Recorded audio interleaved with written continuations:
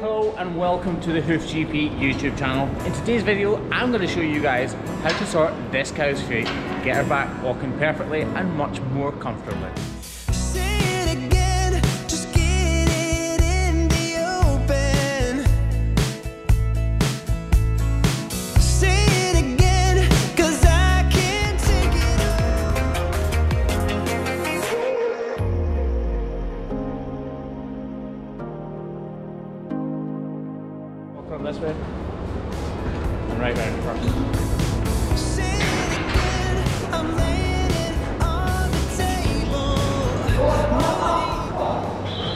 We run these cows around the farm and up through the parlour and it actually makes it really easy because they're so used to running through that parlour two times a day, every day. So that helps us out majorly. Hey, Mr. Hoofman, will you sort out my feet? Of course I will, number 21. No problem whatsoever. Can you make them pink? Uh, I don't think I can go that far, but we will make them very pretty. Thank you. Come on!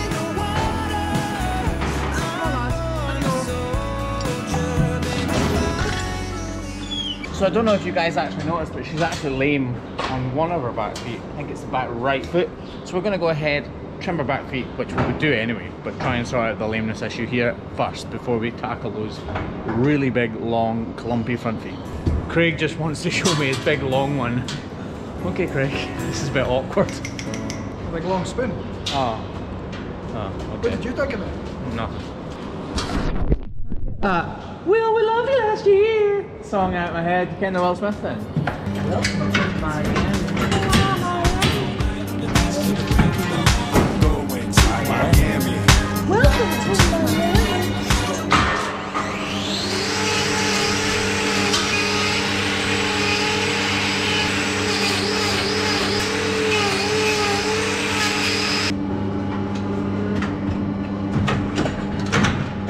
So she's actually lame on this bit because of her dew claw. Look. Like a big rhino horn. But that's not the reason she's lame. It's actually dermatitis in here which is retarding the growth, making it look kind of funky like this.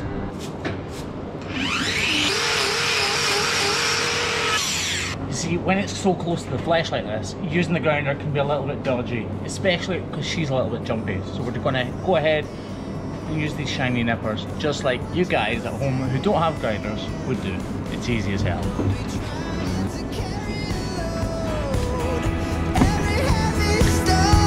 That? No drama. Well, however, tidy up a bit more than that.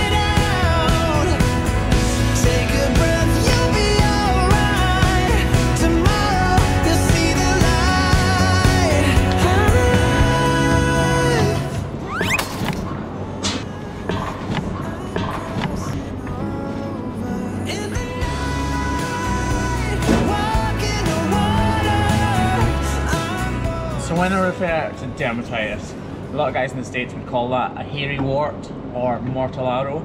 And with hairy warts, or mortellaro, the object is not to make them bleed. If you make them bleed, you're just doing a lot of damage and causing a huge amount of pain for the cow.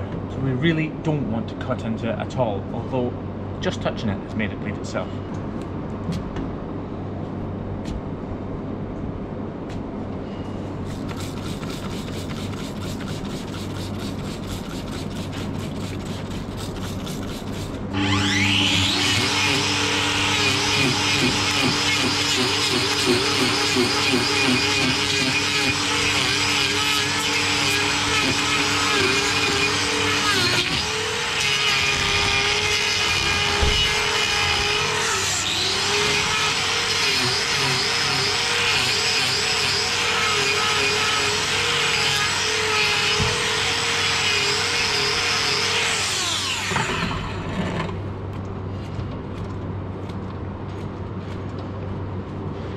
You see, because this inner claw was so much bigger, she started to bruise here.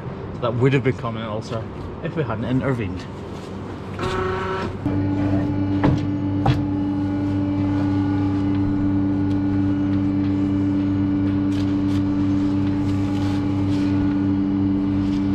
So now it's up in the air, we can see the full extent of the size of this inner claw. It really is big, and that's causing a lot of discomfort. And if it hasn't already done it, would cause a lot of pain.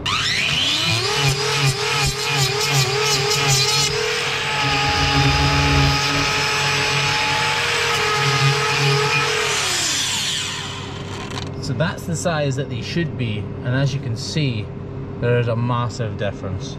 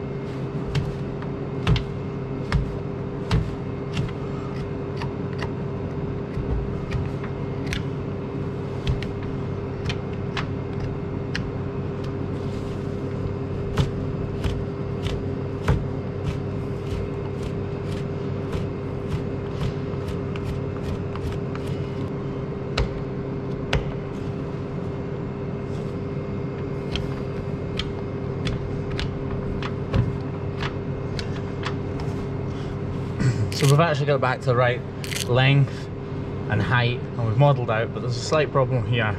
I don't want to go digging too deep or make it worse. So all we're going to do is take the weight off that and check that it isn't anything too serious and get rid of that loose horn there actually.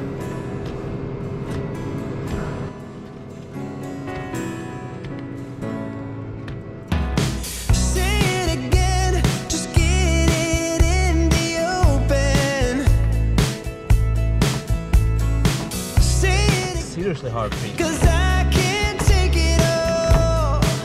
Oh, I know it takes a man, takes a mile, takes a minute. Say it again, I'm laying it on the table. No These little cracks might look superficial, but if you leave them, they can progress into much more serious problems. And for the sake of a couple of seconds, you might as well do it. It's not about being beautiful, it's about functionality and preventing lameness. Walk in the water. I'm born a soldier, baby.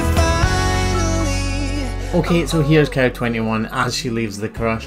And clearly, yes, she is still lame on that back right because dermatitis takes a little while to clear up. But when it does, thanks to those new, shiny, sexy new front feet, she will be 100% more comfortable. Luckily for her, dermatitis should be easily in hand within the week or so. And she'll be feeling like a new cow.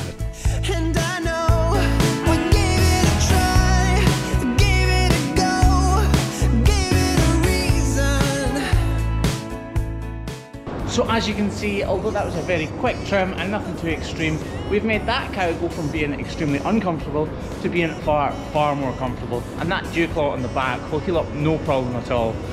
We soaked it in iodine and the farmer will spray it with antibiotics tonight on the way through the parlour, so she will be all good.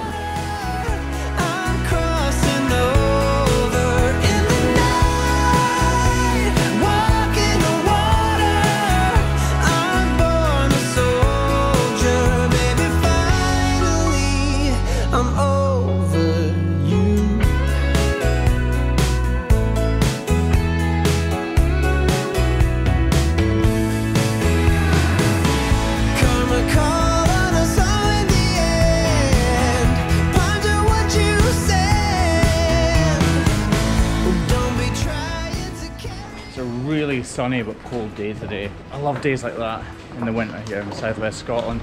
Feel fresh and you feel alive. It's good. Having Craig working with me is awesome. He's trimming away just now. Just obviously I'll check his feet, but he's getting really, really good at trimming. He's gonna, he's really conscientious as well, so he won't go too far at all. He'll stop, I'll check it, then he'll continue when I'm there. But more than that, just having that extra pair of hands to do little things is making my job way more relaxing and enjoyable. So I'm so glad I've got. it. So for me, Craigie Boy and Stevie Boy in the back of the truck there, thanks very much for watching. See ya!